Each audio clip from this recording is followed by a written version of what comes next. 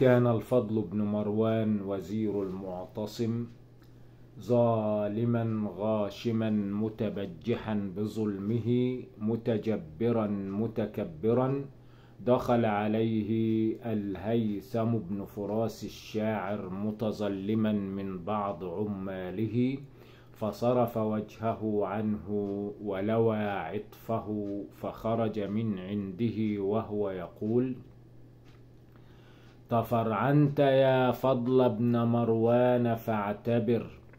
فقبلك كان الفضل والفضل والفضل ثلاثة أملاك مضوا لسبيلهم أبادتهم الأقياد والحبس والقتل.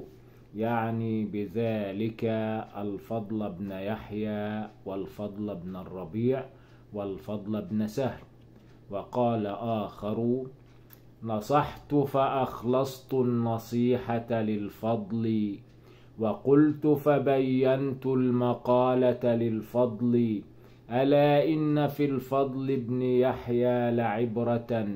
إن اعتبر الفضل ابن مروان بالفضل وفي ابن الربيع الفضل للفضل زاجر إذا ازدجر الفضل ابن مروان بالفضل.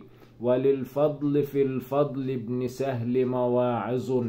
إن اتعظ الفضل ابن مروان بالفضل إذا ذكروا يوما وقد صرت رابعا. ذكرت بقدر السعي منك إلى الفضل. فأبق جميلا من حديث تكونه ولا تدع المعروف والأخذ بالفضل. فإنك قد أصبحت للناس قائما وصرت مكان الفضل والفضل والفضل.